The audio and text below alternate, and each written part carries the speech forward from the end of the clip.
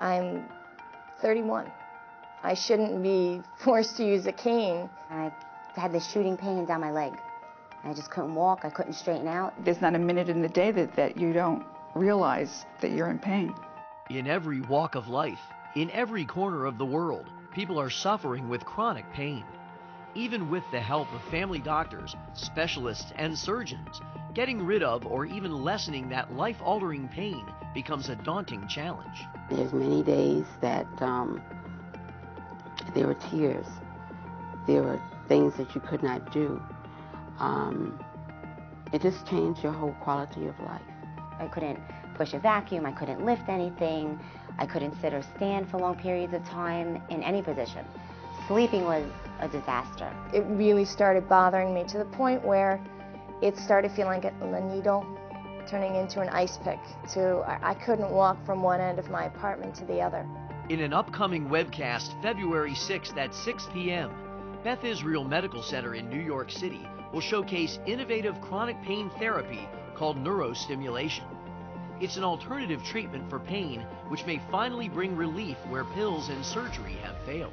Spinal cord stimulation is a means of using an electrical signal to control a painful sensation that patients can experience for a chronic duration of time. Following a successful trial, the neurostimulator is a small, surgically placed device that generates and delivers impulses near your spinal cord area through one or more leads. The stimulation from these leads replaces pain with a mild tingling sensation. The main benefit that patients achieve from spinal cord stimulation is that of improvement in pain relief.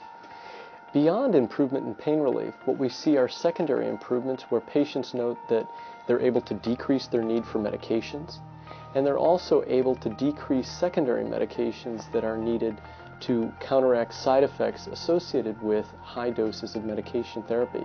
So join us for a broadcast from Beth Israel Medical Center and learn how you can get back to the activities you enjoyed before chronic pain took them away from you. After 11 spinal surgeries, I can tell you that this is a godsend. And I would be willing to tell anyone, try it. Try something new. I don't know how I live without it. OR Live makes it easy for you to learn more. Just click on the Request Information button on your webcast screen and open the door to informed medical care.